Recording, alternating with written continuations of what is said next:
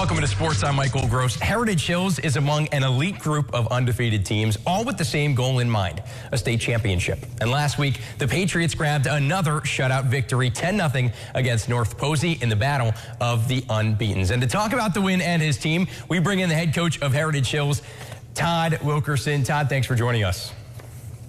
Thank you for having me. So, was 5 0 on the radar for your team in early August, or did this kind of take you by surprise? You know, I don't know about 5 and 0, but I, I think we knew we had a good group. Uh, we knew we had some pieces that had to come along. Uh, you know, our offensive line we felt was talented, but we needed to, to play physical and, and get the run game going, and they've done a nice job of doing that. Um, we have a few sophomores who are playing this year, and, and they've done a real nice job this year. So I, I think we felt we could be a, a, really good football team, but until you get out there and start playing, uh, you never know. Defensively, your team has been very strong. You haven't allowed a point since the 1st of September. Just 43 passing yards allowed for North Posey last week. What's been the, the proponent of the success for this defense? You know, I I, uh, I, I feel like our defense has been good. We've given up some yards, but but we've just made big plays when we've had to to stop drives. I think uh, we've had some some turnovers, some key turnovers. We've taken the ball away quite a bit from people. Uh, a lot of times through fumbles.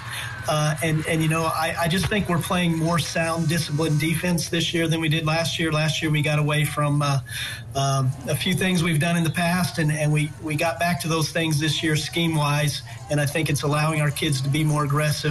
Uh, and, and play more sound on Friday nights.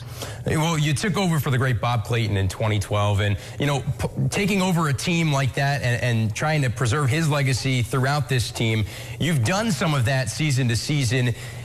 But with this team, what, what, what makes it so great and so special is your two, you know, maybe all-state caliber players in Jet Goldsberry and Braden Durham uh, on the offensive side of the ball. What makes this team different than maybe some other teams that you've coached? Well, you know, I, I don't know. It, it really is it, when you have those special teams, those championship teams, you got to have some really good senior leaders, and we have that in Braden and some of the other seniors we have. And then you've got to have kids that just can go out and make plays. You know, it, it I don't care who you are as a coach. Um, if you don't have some athletes who can go out there and be spectacular on occasion, uh, you're going to struggle going deep in the playoffs or, or win a championship. So, you know, we feel like we have those guys. Uh, Jet works harder than any other kid, I feel like, in, in uh, high school football.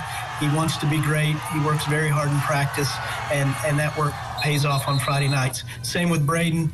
You know, Braden's had a dream of playing college football, and he's worked really, really hard uh, to put himself in position to possibly play college football. So, you know, those two guys with their work ethic have led us, and it, and it takes – leaders like that to motivate others to say, "Hey, we have something special here.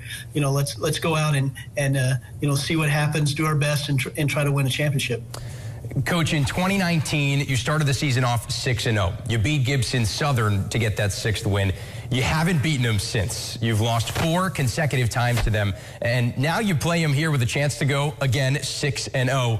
What sticks out to you about this Gibson Southern team, and how do you guys get over the hump? Well, you know, they're very good as usual. You know, Coach Hart does a tremendous job over there. Uh, they've played a great schedule. Good thing about what's going on in Southern Indiana lately in 3A is it, seems that uh, there's there's some strong teams every year, and, and we beat up on each other, and, and whoever uh, gets out of that mess, it, it usually has a chance to go deep into the tournament. So we feel like – this game, uh, even though Gibson Southern is not in our sectional this year, this game is, is a championship game as far as the conference, and then it's going to show us where we are in terms of uh, what we have to do to get ready for the tournament. Coach, thank you so much for your time. Best of luck this week against the Titans. Uh, thank you again. I appreciate you having us. Well, that is head coach Todd Wilkerson of Heritage Hills Football. We'll be right back.